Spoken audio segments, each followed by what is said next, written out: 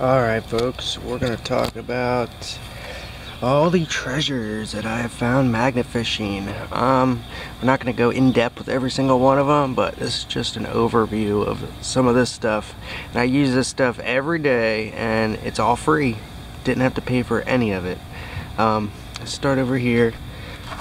This is probably one of my best finds right here. It is an ABU Abu Sweden Ambassadeur 5000C fishing rod. It's like 60s, 70s. Works beautifully. Um, it's got a custom uh, reel too, or a custom rod. Very, very cool. It's just sitting right on the bottom there. Just like how it is right now. And it works beautifully. It's like a 100 to 300 dollar fishing rod um, free magnet fishing with this magnet right here this little guy. That is my go-to 250 pounds pool. Um, and this is one of the very first things I actually found another magnet. And as you can see I got it stringed up. I do use that occasionally. It's probably only like an 80 pound pull or something. Nowhere near the strength of that little guy over there. Um, but I found an actual magnet while magnet fishing. Um, we got some other stuff. We got like a minnow pot thing. Um, we got little minnow nets. We got a bunch of multi-tools. They all work.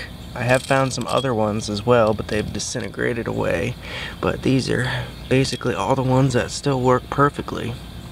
Zippo, and this one needs some new innards. Um, see, it's a little rusted away, but outer case is beautiful. Got some working lighters here. Got a Winchester. Oh no, this is a Browning pocket knife. We got a beautiful Winchester pocket knife. That one's like a $20 uh, Winchester out of a set. We have a Frost cutlery knife. This one's broken, uh, but it's a Sheffield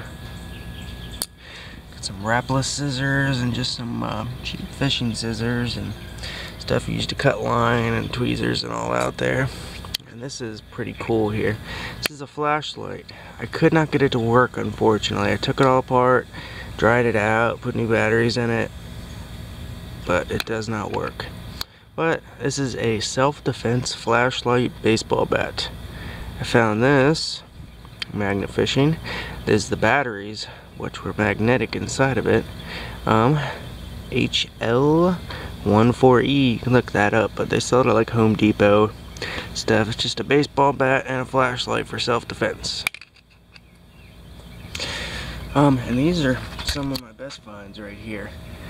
Just an overview of all of them. Um, this is probably from like seven trips out, I'd say, seven or eight trips magnet fishing. Um, and these are all the goodies. All free. Probably close to $500 worth of stuff here. Easily. Very cool, folks.